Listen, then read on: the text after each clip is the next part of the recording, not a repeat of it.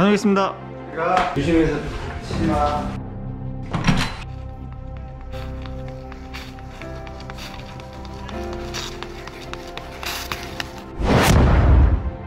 안녕하세요. 제이풋볼입니다. 오늘은 축구 선수의 시즌 준비 과정과 재활 운동 과정을 보여드리겠습니다. 운동을 하는 김에 개인 운동 과정을 영상으로 담아봤습니다. 저는 프리시즌 때 주로 스피드 향상을 위한 훈련을 했습니다.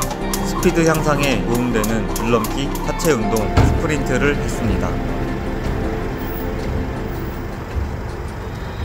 운동 순서는 우선 하체 운동으로 근력을 향상시킵니다.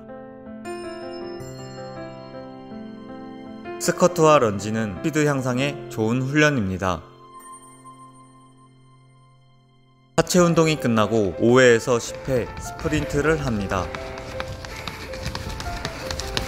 하체 운동으로 근력을 키우고 스프린트로 폭발력을 증가시킵니다. 많은 사람들이 스피드는 타고나야 한다지만 후천적인 노력으로도 자신의 한계치까지는 빨라질 수 있다고 생각합니다. 왜냐하면 저도 중학교 3학년 때까지 정말 느린 편이었으나 고등학교 진학 후 줄넘기와 산과 언덕을 뛰면서 스피드가 정말 빨라졌어요. 이렇게 계단과 언덕 스프린트는 손흥민 선수처럼 폭발적인 스피드를 키우기 위한 훈련입니다. 그러나 근육이 안 좋거나 성장기 선수들에게는 무리하지 않는 게 좋습니다. 이번 운동은 줄넘기입니다. 줄넘기의 효과는 몸의 탄력과 순발력, 민첩성이 좋아집니다. 저도 고등학교 때 줄넘기를 2년간 꾸준히 하면서 확실히 순발력이 좋아졌습니다. 제 훈련 프로그램은 워밍업으로 1단 뛰기 1000개를 하고 2단 뛰기 100개를 5세트 하고 한 발로 2단 뛰기 100개 3세트를 합니다.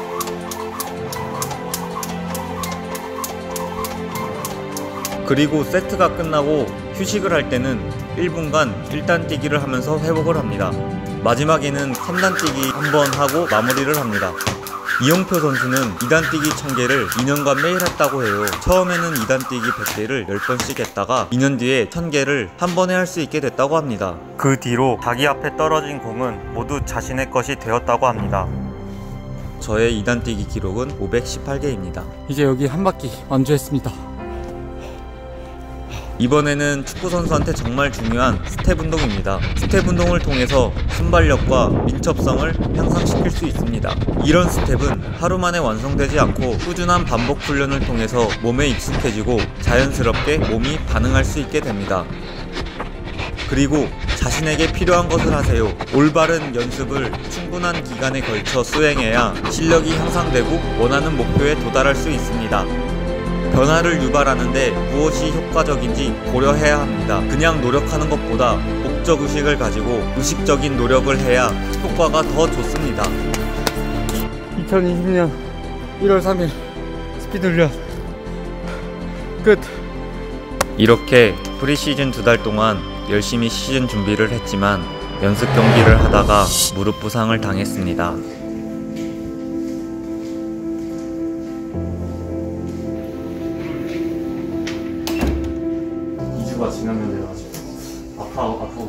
가지고 그 좌측 아래쪽 부분 말씀하시는 네 거예요? 이쪽 눌렀을 때 압통이 있으세요? 네 눌렀을 때 통증이 있어요. 저 눌렀을 때 압통이 있으세요? 네 있어요. 부상은 운동선수들이 겪어야 하는 가장 힘든 과정입니다.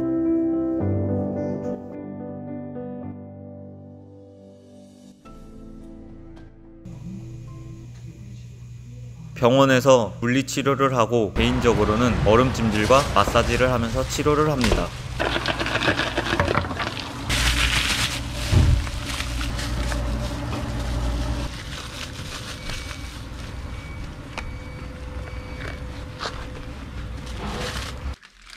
안티프라민은 근육통과 타박상 등 아픈 부위에 발라주면 정말 좋습니다.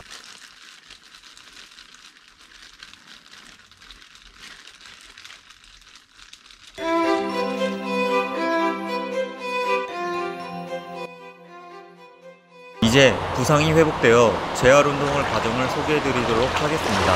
저는 기본 보강 운동을 병행하면서 수영으로 재활을 시작했습니다. 수영은 물속에서 이루어지는 운동이기 때문에 근육과 관절에 큰 무리를 주지 않고 움직일 수 있다는 장점이 있습니다. 몸 전체를 사용해야 하는 운동이기에 전체적인 근력이 생기고 심폐지구력 향상에도 정말 좋습니다.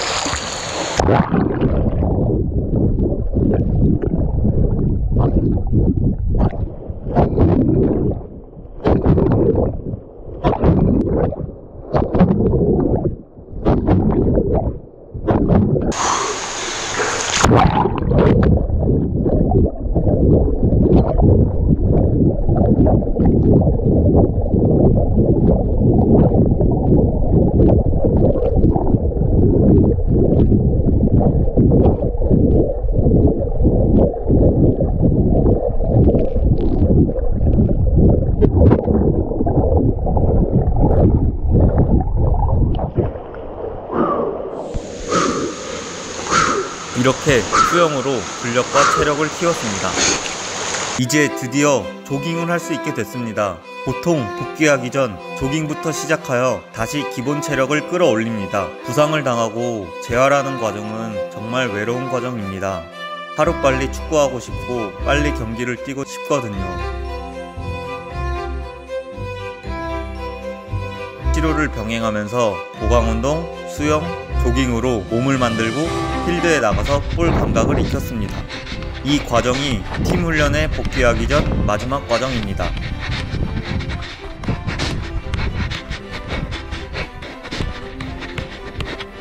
백스텝. 하이. 먼 발로, 오른발로. 항상 패스할 때는 먼 발로. Hey. 왼쪽. Good. Good. 이제 다시 시작입니다. 이제 괜찮아졌으니까 쉰 만큼 다시 시작해야죠. 고비를 이겨내고 계속 도전하다 보면 언젠가는 그 꿈을 이룰 수 있다고 믿습니다. 저는 고등학교 때도 후보 선수 생활을 했었습니다. 그래서 거기에 자극을 받고 부족해서 남들보다 더 노력을 했습니다. 그리고 저는 다섯 번의 프로 테스트에서 떨어졌고 대학교 4학년 때까지 프로에 못 갔습니다. 그런데 포기하지 않았습니다. 끝까지 도전해보자라는 마음으로 했습니다. 결국 대학교 4학년 마지막 프로 테스트에서 합격했습니다. 14년간의 꿈을 이룬 순간이었어요. 여기서 제가 느낀 점은 사람은 정말 간절할 때 큰 힘이 나온다는 겁니다. 정말 자신이 간절한 만큼 성공합니다. 포기하지 말고 도전하세요.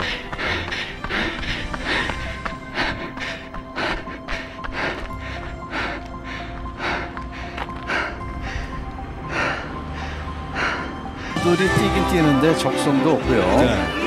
네, 그냥 뛰는 그냥 형식만 내고 있네요. 오히려 부산 아이파크는 공격의 고비를 늦지 않고 크로스 나왔습니다. 아 이번엔 아주 날카로운 아 정말 멋진 슛이 나왔습니다. 네, 교체 들어갔던 이정진 선수. 이정진 선수죠. 이정진 선수가 많이 뛰었어요. 네, 뭐 지금 빠른 발을 이용해 가지고 네네. 어, 측면에서 중앙으로 날카로운 동작을 많이 옵니다. 그렇죠. 네. 네. 부산 아이파크가 3대 0. 네, 여기서의 그 움직임 따라가지 못해요. 그렇죠. 대전 선수들이 골키퍼가 뭐 어쩔 수 없었습니다. 네.